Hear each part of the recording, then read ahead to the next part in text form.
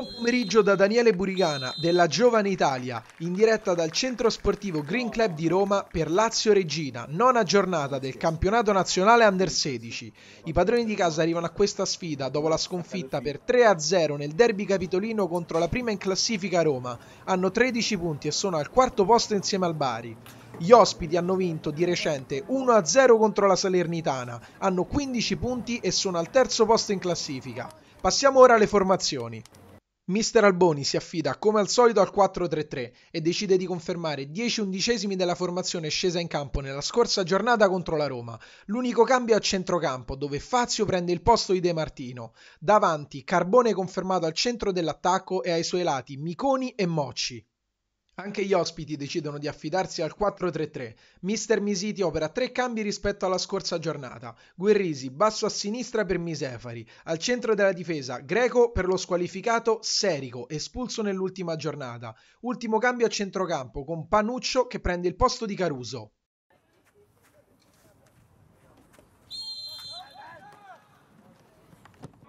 La prima occasione del match è per la Lazio, arriva al ventottesimo del primo tempo. Sugli sviluppi di calcio d'angolo, Francioli fa una sponda di testa per Carbone che però non impatta bene di testa e rende tutto facile a Lombardo. Dopo 10 minuti ancora la Lazio pericolosa, dopo una progressione di Miconi il pallone con una serie di rimpalli termina nebuloso che prova la conclusione dalla distanza il suo destro è potente ma termina di poco al lato della porta difesa da Lombardo.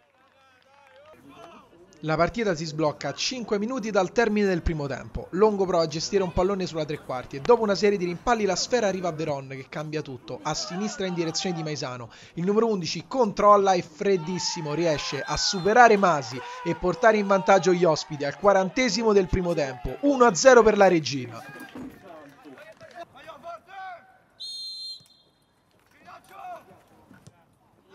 Parte fortissimo la Lazio ad inizio ripresa. Fazio recupera un pallone a metà campo e manda sulla fascia Carbone. Il numero 9 punta all'area di rigore, supera in velocità Greco, entra in area col sinistro, la mette dentro. Facile facile per Lorenzo Miconi che segna la rete dell'1-1 al primo minuto della ripresa. Agguanta subito il pareggio la Lazio.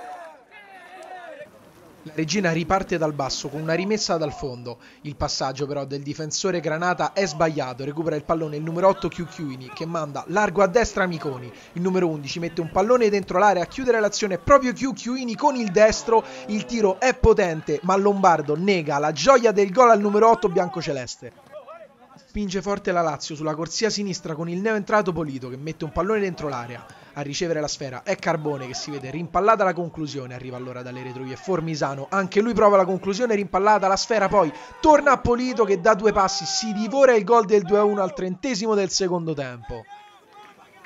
La regina non resta a guardare e ci prova al 35 con una punizione dal limite. Parafioriti va col destro, la sfera passa sotto la barriera e Masi, attentissimo, nega il gol del 2-1 alla regina.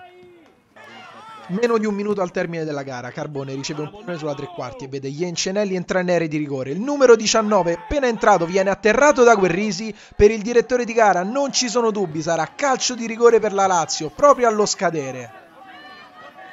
Sul dischetto si presenta il numero 9 Giovanni Carbone che va con il sinistro, fulmina Lombardo che non può nulla e porta in vantaggio i suoi con la rete del definitivo 2-1 al termine dei 5 di recupero assegnati al direttore di gara che nel frattempo fischia anche per tre volte e decreta la fine di Lazio Regina. I padroni di casa recuperano in rimonta all'ultimo minuto, ottengono anche il sorpasso in classifica con 16 punti al terzo posto insieme al Bari, scivola al quinto posto la Regina a 15 punti.